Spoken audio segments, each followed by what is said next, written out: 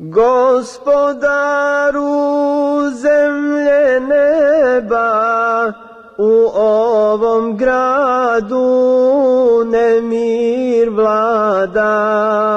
Gospodaru zemlje neba, malo nas na seđdu pada.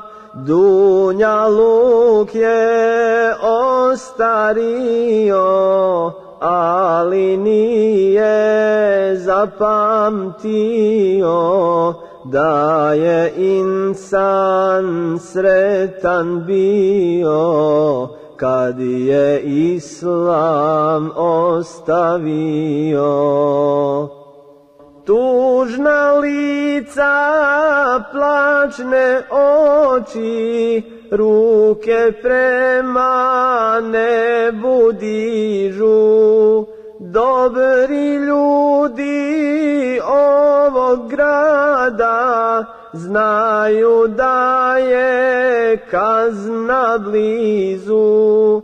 Dunja luk je ostario, ali nije zapamtio da je insan sretan bio kad je islam ostavio.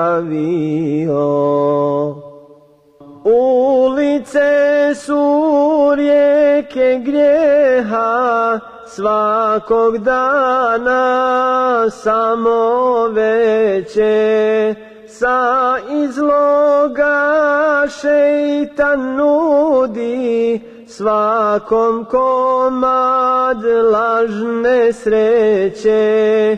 Dunja luk je ostario ali nije zapamtio da je insan sretan bio kad je islam ostavio بسم الله الرحمن الرحيم الحمد لله رب العالمين والصلاة والسلام على أشرف الأنبياء والمرسلين نبينا محمد وعلى آله وصحبه أجمعين وبعد السلام عليكم ورحمة الله وبركاته Nastavljamo govoriti o značenju hadisa Allahovog poslanika sallallahu alaihi ve sellem u kojem stoji da je rekao iman se sastoji od 70 i nekoliko dijelova. U drugom predanju 60 i nekoliko odnosno 70 i nekoliko dijelova. Najvažniji, najuzvišeniji najbolji dio je izgovor la ilaha illallah a najmanji dio imana je uklanjanje neprijatnosti s puta kojim prolaze ljudi. Govorili smo o prvom ogranku imana, a to je vjerovanje u Allaha Đelešanuhu ili la ilaha illallah. Govorili smo i o drugom ogranku imana, a to je vjerovanje u Allahove poslanike i vjerovjesnike alaihimu salatu wassalam. Danas ćemo uz Allahovu pomoć govoriti o trećem ogranku imana ili o trećem dijelu imana, a to je vjerovanje u meleke. Ko su meleki? Meleci, odnosno meleki su bića stvorena od svjetlosti, za nas nevidljiva, koji su stvoreni da bi se Allahu pokoravali i njegove naredbe izvršavali. Znači mi ih ne vidimo, ali u njih čvrsto vjerujemo, bez ikakve sumnje, zato što nas je o tome Allah obavijestio i njegov poslanik sallallahu alaihi wasallam. Vjerovanje u meleke vrlo je važno zato što spada u šest temeljnih vjerskih istina – a to je vjerovanje u Allaha, u Allahove meleke, objave, poslanike, sudnji dan i da je određeno sve bilo dobro ili zlo. Allah Đelešanuhu rekao je u suri Al-Bekare kullun amena billahi wa malaikatihi wa kutubihi wa rusulih. Svi oni vjeruju u Allaha, u njegove meleke, u objave i u poslanike. Također u drugom majetu govoreći o tome šta je to iman, šta je dobročinstvo i šta je ono što Allah Đelešanu voli i želi od nas. Allah Đelešanu je rekao وَلَكِنَّ الْبِرَّ مَنْ آمَنَ بِاللَّهِ وَالْيَوْمِ الْآخِرِ وَالْمَلَائِكَةِ وَالْكِتَابِ وَالنَّبِيِّينَ Iman je da vjerovanje u Allaha Đelešanu u sudnji dan, u meleke, u objave i u vjerovjesnike. Vjerovanje u meleke podrazumijeva vjerovanje u njihovo postojanje i da su oni plemeniti Allahovi robovi koji su stvoreni da bi izvršavali njegove naredbe kao i vjerovanje u njihove osobine i u dijela kojima, za koje su zaduženi onako kako je to rečeno u Kur'anu i u sunnetu. Također, vjerovanje u njih podrazumijeva i znači da vjerujemo i u njihove odlike i položaj koji imaju kod Allaha subhanahu wa ta'ala. Rekli smo da su stvoreni od svjetlosti. Ima muslim u svom sahihu prenio je, odnosno zabilježio hadis Allahovog poslanika sallallahu alaihi wa sallam da su stvoreni od nura. Sama materija od koje su stvoreni, od nura, svjetlosti, ukazuje na njihovu vrijednost i u to da su počašćeni od strane Allaha Đelešanu. Također, Allah Đelešanu u Kur'anu često ih spominje pripisujući ih sebi, ukazujući također na njihovu važnost i njihovo mjesto i ugled koji imaju kod Allaha subhanahu wa ta'ala. Tako Allah šanu kaže Inna Allaha wa malaiketehu yusalluna ala nebi Allah i njegovi meleci. Jer kažu naši učenjaci kada Allah Đelešanu u takvom jednom kontekstu spomene nešto ili nekoga i pripiše ga sebi da je njegov, to je znak počasti i znak ugleda koji ima kod Allaha subhanahu wa ta'ala. Također Alšano je rekao Kullun amene billahi wa melaiketihi Svi oni vjeruju u Allaha i njegove meleke. Također je rekao Ome yekfur billahi wa melaiketihi I oni koji uznevjeruju u Allaha i u njegove meleke. Opet njegove. I tako ako čitamo niz ajeta u Kur'anu, naći ćemo da je Allah Đelešanuhu uvijek spominje i pripisuje ih sebi. Također, Allah subhanahu wa ta'ala uh, njihovo svjedočenje da je on jedan spomenuo je kao dokaz najveće istine a to je la ilaha illallah da nema istinskog Boga osim Allaha subhanahu wa ta'ala. Šehid Allahu anahu la ilaha illa huwa wal malaike. Allah svjedoči da nema istinskog Boga osim njega i meleci svjedoče. Znači, sve to ukazuje koji je, njiho, koji je njihov ugled i koja je to počast koju imaju kod Allaha Đelešanu. Osim toga, U niz ajeta Allah Đelešanu je istakao njihovu čistoću od grijeha i mahana koji su svojstveni ljudima i istakao je to što ih je počastio time. Pa Allah Đelešanu kaže o merecima bi ejdi sefara kiramim barara. Ti listovi su u rukama meleka koji su plemeniti, čestiti. Također je na drugom mjestu rekao wa inna alejkum lahafizin kiraman katibin a vas, na vas paze i čuvaju vas, odnosno zapisuju vaša dijela, plemeniti, časni pisari. Također je rekao bel ibadu mukramun oni su Allahovi počašćeni robovi. Mokromun, znači oni kojima je ukazana počast. Također ih je opisao da su oni uzvišeno društvo. Društvo koje je u Allahovoj blizini. La jesemma'una ila al-mala il ala. I oni ne mogu da čuju i prisluškuju ono što se događa u tom visokom ili najuzvišenijem društvu. Također rekao, ješheduhul muqarrabun i tome prisustuju oni koji su Allahu blizu. Također oni su ti koji su nositelji arša, Allahovog prijestolja, ladine jahmilulna arša vomen havle, I oni koji nose Allahovo prijestolje i oni koji su oko njega. Uistinu brojni, brojni ajti koji ukazuju na vrijednost, odlike i počasti kojima su počašćena ta stvorenja koje Allah uzvišeni stvorio od svjetlosti. Rekli smo da vjerujemo i u njihove osobine, odnosno ono što je došlo u Kur'anu i u sunnetu od njihovih osobina. Od njihovih osobina mi znamo da su oni veoma snažni. Također, znamo da imaju krila. Im je Allah dao krila, nekima po dva, nekima po četiri, a nekima i više.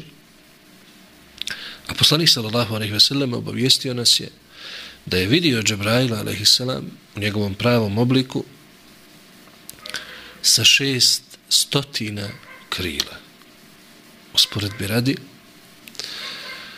kada je Džebrailu bilo naređeno da uništi nastambe lutovog naroda, sedam naselja velikih, sedam gradova, cijelo to područje, gdje su bili nastanjeni ti ljudi koji su radili to zlo koje nije radio niko prije njih, spominje se da ih je Džebrail a.s. uništio na vrhu jednog krila. Sve je okrenuo i naopako izvrnuo do zemaljskog neba i onda ponovo nazad u zemlju to uistinu ukazuje na veliku snagu tih bića kojim je Allah Đalešanu to podario. Također naši učenjaci kažu kada je Suleiman a.s. Uh,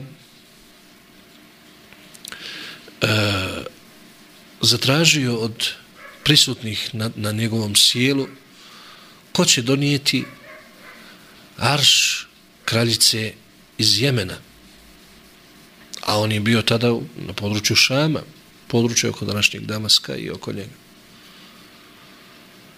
Ko će donijeti? Pa je džin snažan rekao, ja ću ga donijeti prije nego što ustaneš sa ovog sjela.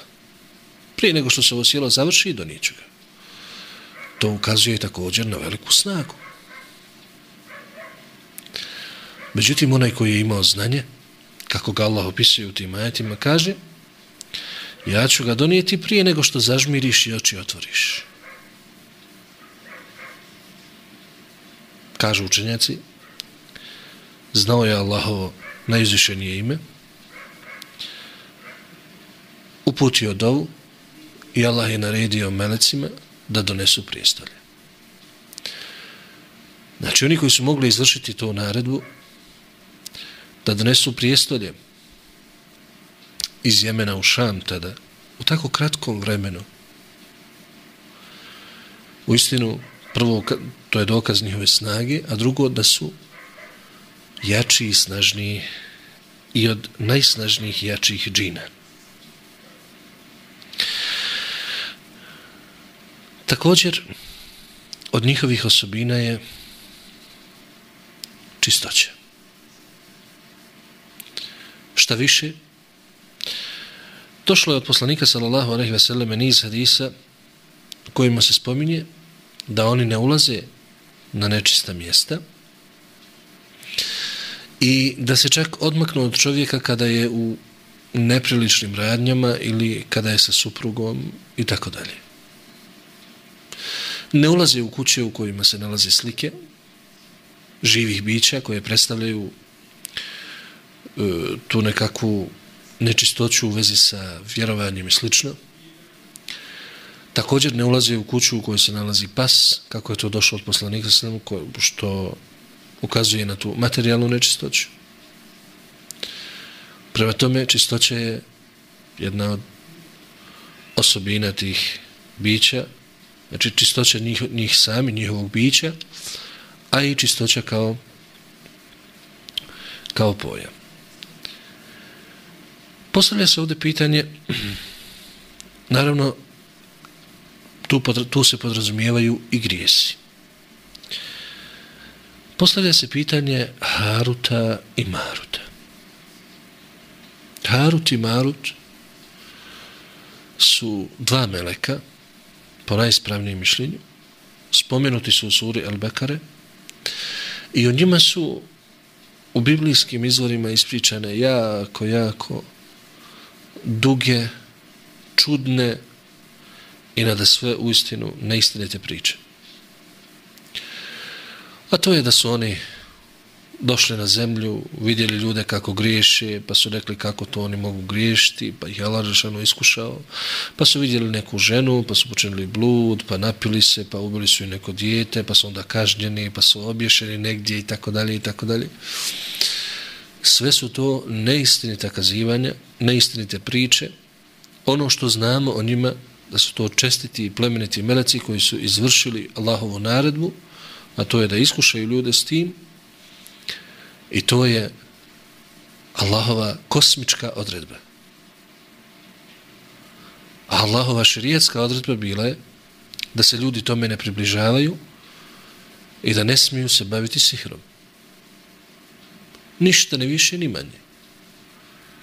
Sve ostalo što je u vezi s tim dodato i slično, ništa se ne spominje u Kur'anu, niti u vjerodostojnim hadisima, sve su to kazivanja iz knjiga prije Kur'ana, a znamo da u to ne smijemo vjerovati i prema tome ne možemo to ni prihvatiti.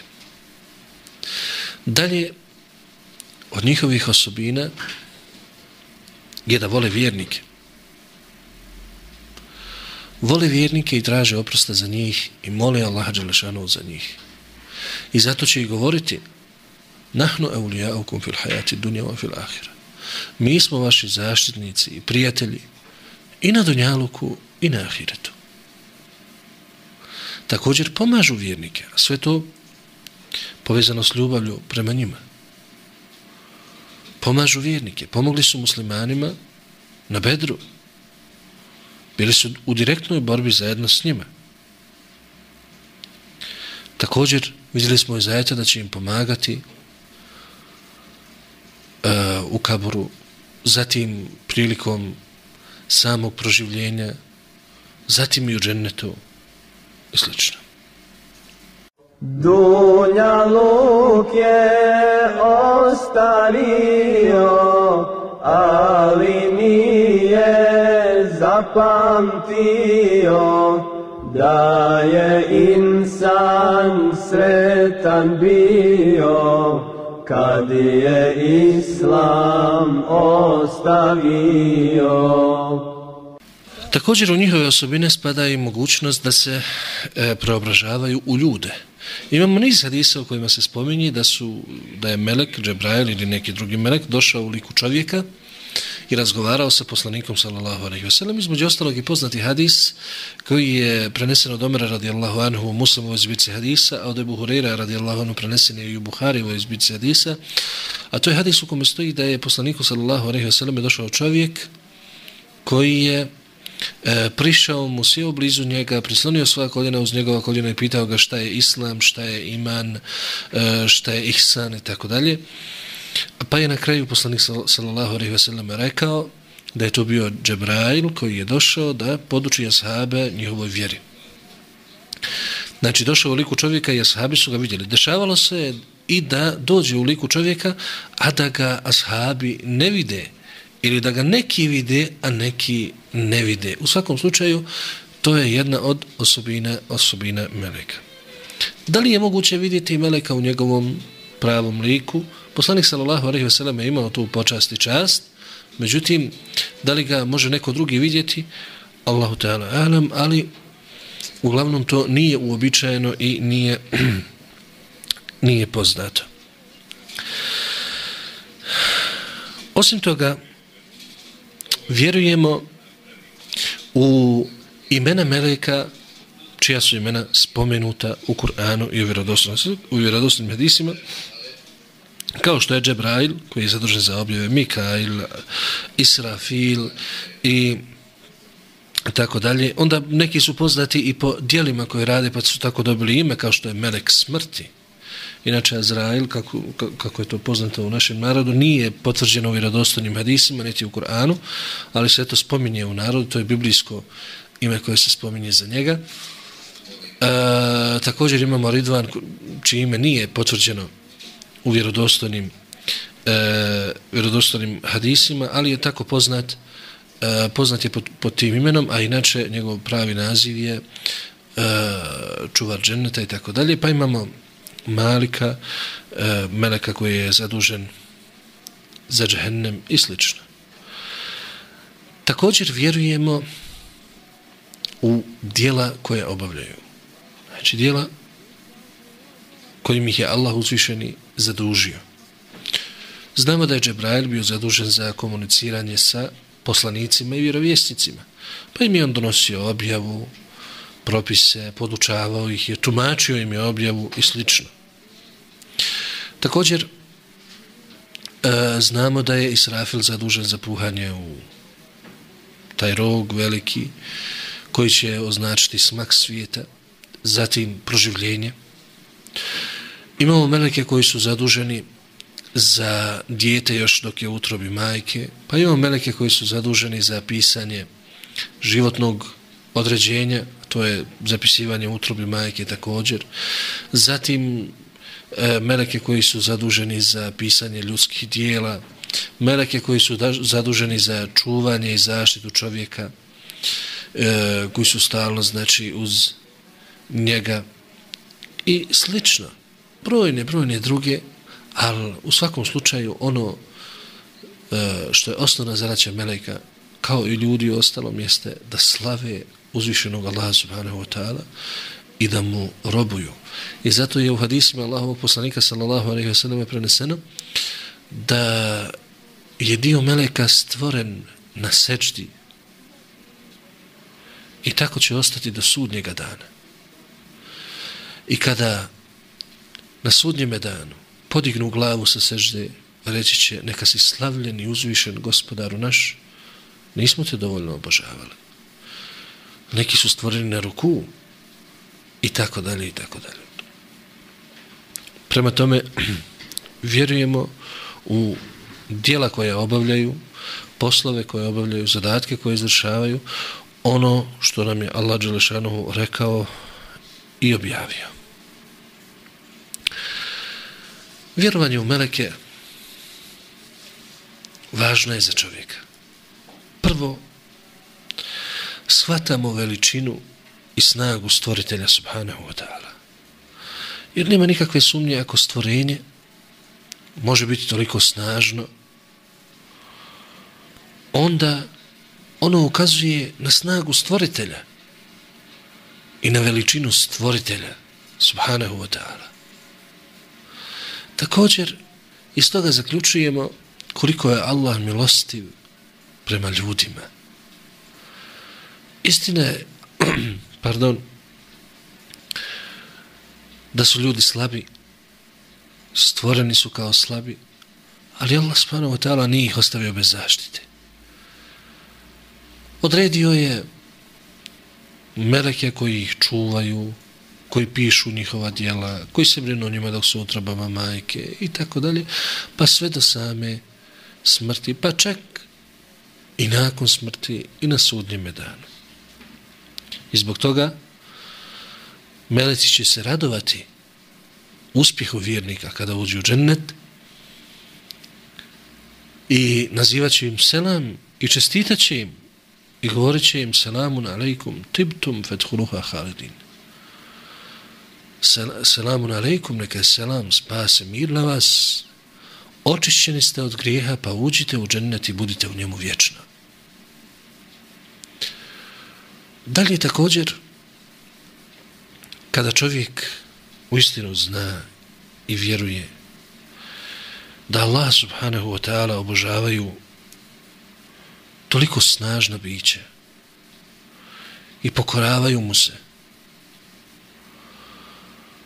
onda postavlja sam se pitanje, pa zašto on tako slab, nejačak, nezaštićen, ne bi obožavao svoga gospodara? Zašto i po kom osnovu da se suprostavlja naredbama Allah subhanahu wa ta'ala i da krši njegove zabrane kada bića mnogo neuporedivo veća i snažnija od njega pokoravaju se svome gospodaru i još sa strahom to obavljaju i strah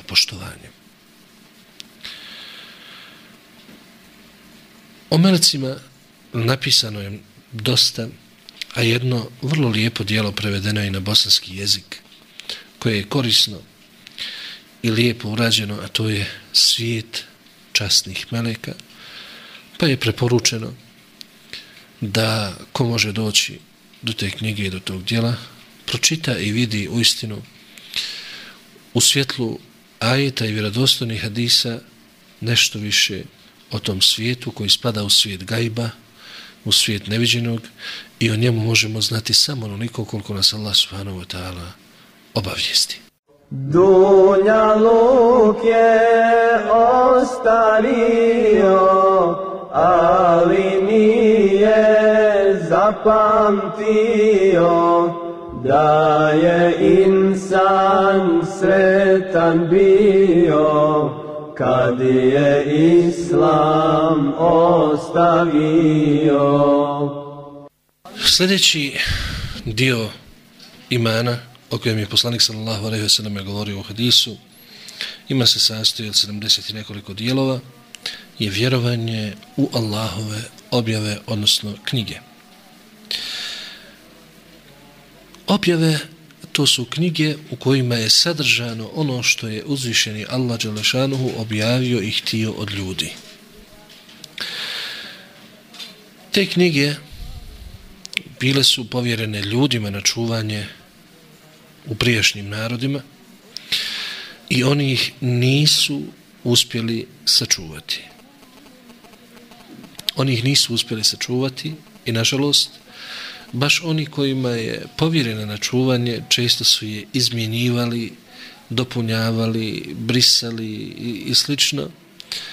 Tako da od prijašnjih objava nemamo ništa kompletno sačuvano. Ono što od njih postoji danas, to su veoma različite verzije e, i veoma izmijenjene ni blizu onoga što su bile i značile u izvornom obliku u kakvom su je donijeli Allahovi poslanici kojima su one objavljene. Jedina objava koja je ostala sačuvana, koja nije izmijenjena i za to postoje jasni dokazi, jeste posljednja Allahova objava, a to je Kur'an.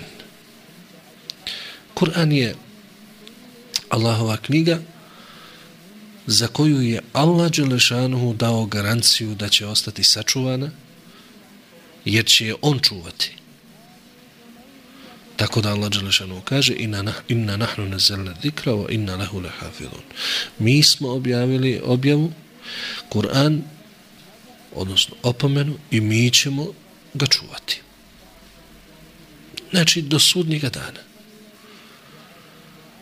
I onakav kakav je objavljen poslaniku Muhammedu sallallahu alaihi wa sallam sa svakom riječju, sa svakim slovom je i dan danas tu i bit će do sudnjega dana. Vjerovanje u objave vrlo je važno i jedan je od šest temelja vjere. Objave su došle ljudima kao milost, kao uputa i produžetak su vjerovanje u poslanike. Znači vjerovanje u poslanike podrazumijeva također vjerovanje u objave jer ne može se negirati poslanik a vjerovati njegova objava. Kažu naši učenjaci da bi naše vjerovanje u objave bilo ispravno mora se državati sljedeće. Prvo, vjerovanje da su one u istinu od Allaha subhanahu wa ta'ala. Da ljudska ruka s tim nema nikakve veze. I da ljudi nisu imali veze s tim. Zbog toga priješnje objave i jesu nevažeće danas, zato što se ljudska ruka se tu uplela i tu i postale su iskrivljene. Međutim, Kur'an nije, kao što smo rekli, i on je uistinu od Allaha subhanahu wa ta'ala. Nije od Muhammeda sallallahu alaihi wa sallam. Nije od Džebraila, nego direktno od Allaha Đelešanu, a Džebrail je povjerljivi prenosilac do Muhammeda sallallahu alaihi wa sallam, a Muhammed sallallahu alaihi wa sallam je povjerljivi prenosilac od ljudi, a Džebrail od Meleka. Dalje, vjerujemo u nazive imena objava onih objava koji su spomenute imenom u Koranu, a druge objave koje su postojale i bile i ne znamo imena, vjerujemo u njih uopćeno, kao što vjerujemo uopćeno i u poslanike koji su bili, a čija imena ne znamo. Od imena koja su objavljena znamo za Tevrat, objavljen Musa'u, alaihissalam, znamo za Zebur objavljen Davudu, alaihissalam, znamo za Inđir objavljen Isa'u, alaihissalam, također znamo za listove koji su objavljeni Musa a.s. koji su objavljeni Ibrahim a.s. Pardon. Kur'an je objavljen Muhammedu sallallahu alaihi wasallam i njegovih imena je najviše spomenuto u Kur'anu. Treće što je važno, a to je rad po objavi koja je važeća u vremenu u kojem se živi. Ljudi su bili zaduženi da rade po Tevratu, dok je Tevrat bio objava, važeća tada. Danas svim ljudima je naređeno da rade po Koranu. Znači rad po objavi koja je važeća, a važeća objava danas za sve jeste Kur'an. Jer iz dva razloga. Prvo, sve druge su izmijenjene. I u pogledu propisa i u pogledu vjerovanja. I drugo sam, Kur'an je derogirao sve druge objave i donio propise koje će važiti do sudnjega dana za sve ljude. Da li ono što je važno za nas je kako da se odnosimo prema posljednjoj Allahovoj objavi, prema Kur'anu. Prvo što smo dužni u vezi sa Kur'anom jeste da ga čitamo, Ko zna na arapskom jeziku, ako ne zna, neka bar čita prevod. Neka čita značenje. Pa imamo čak prevedenih i, neko, i tefsira, znači malo širih tumačenja, značenja ajeta. Drugo što smo dužni jeste da razmišljamo o tim značenjima. I razmišljanje nije nešto što je e, dopunsko ili nešto što hoćemo ili nećemo. Kažu učenjaci, razmišljati o Kur'anu je vađib obaveza. Allah Đelešanu u vezi s tim kaže Kitabu nazelnahu ilike mubarak li je debaru ajatihi. Mi smo ti objavili knjigu, spustili knjigu blagoslovljenu da bi oni razmišljali o njenim porukama, o njenim ajetima. Također poslanik sallallahu alejhi ve selleme kako je zabilježio ima Muslim rekao je teško onome ko prouči ajete, naime zadnje ajete iz sure Ali Imran u kojem stoji inne fi halki samavati wal ardi wa ihtilafi lili wa nahari lajatin i tako dalje u istinu u stvaranju nebesa i zemlje u smjeni dana i noći ima znakova za one koji su razumom obdareni, pa do kraja sure Ali Imran. Kada je proučio to, rekao je teško onome koji ih prouči, a on ima ne razmisli. Teško onome koji ih prouči. Ovdje je prijetnja, kažu učenjaci prijetnja, e, do, ne upućuje se zbog pohvalnog dijela, nego zbog dijela koje je obavezno. Prema tome razmišljati o Kur'anu samom, o ajetima, je obaveza, a ne dobrovoljno djelo. I treće, i ono što je najvažnije u vezi sa odnosom prema Kur'anu, jeste da radimo po propisima koji su objavljeni.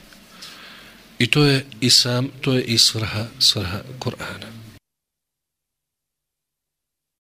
Gospodaru zemlje neba, u ovom gradu nemir vlada.